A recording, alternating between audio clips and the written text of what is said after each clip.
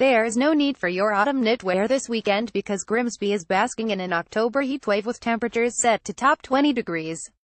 Usually a time known for wrapping up warmth amid October weather this weekend is anything but autumnal. Temperatures across northeast Lincolnshire are expected to be between 4 and 8 times higher than usual this weekend, as milder weather is dragged up from the mid-Atlantic towards our area.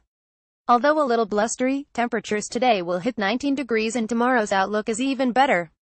The weather map for this weekend showing, in red, temperatures above normal for the year imageweather.com, whilst supermarkets and high street chains are stocking up on Christmas decorations and gift ideas. Highs on Sunday could reach 21 degrees. But, as the saying goes, all good things have to come to an end. And that's certainly the case here as strong winds are being forecast on Monday and into Tuesday as Hurricane Ophelia makes its way towards the Britain.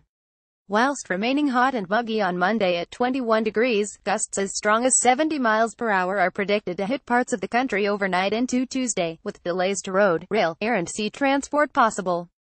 The storm will have been downgraded from a hurricane by the time it reaches our shores late on Sunday through to early Monday but is still expected to pack a punch.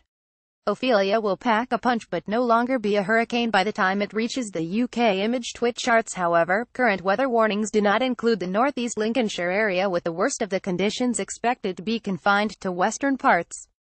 At present, the strongest winds are forecast to reach the Grimsby area late on Monday, accompanied by periods of rain. Gusts will probably peak at around 4,045 miles per hour in our part of the world.